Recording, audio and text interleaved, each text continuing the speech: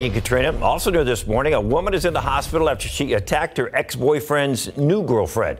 It happened last night at an apartment complex in the 6500 block of Lavender Lane. That's on the city's far east side, just inside of Loop 410. Police said the 27-year-old female went into the apartment and kicked the 47-year-old new girlfriend in the back.